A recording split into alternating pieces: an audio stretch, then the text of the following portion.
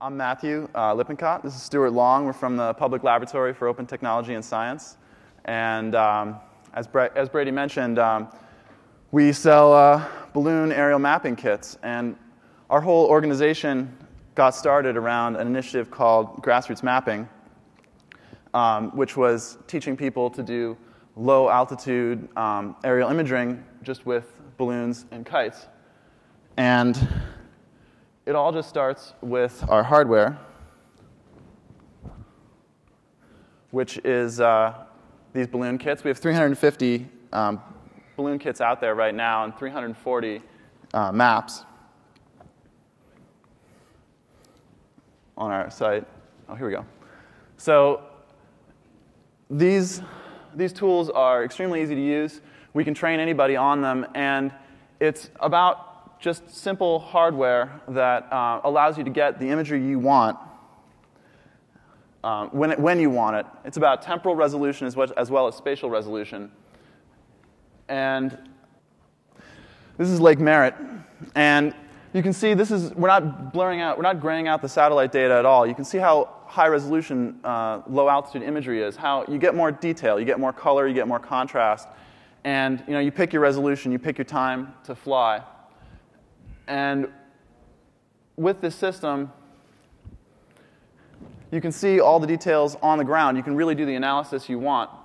And this whole map was built in MapKnitter, which is our free open source online uh, browser based map creation tool where you can sort and, and uh, stretch images that you collected over existing satellite data to create uh, a new map.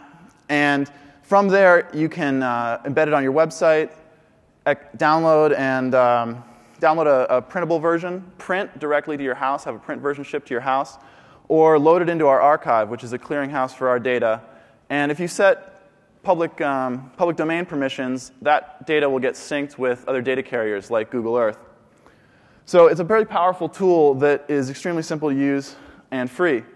It can also handle multispectral imagery. So we launch camera pairs, modified infrared cameras and visible light cameras.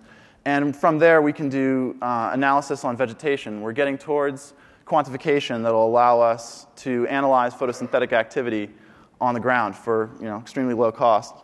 But my favorite piece of hardware we have isn't something we sell. It's these uh, camera protectors, which our users build.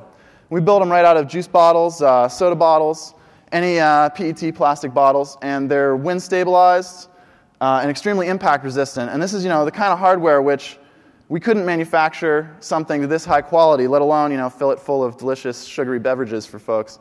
So they work really well, and they are kind of an example of our philosophy, which is if you can solve it with something simple like a rubber band, don't stick software in it.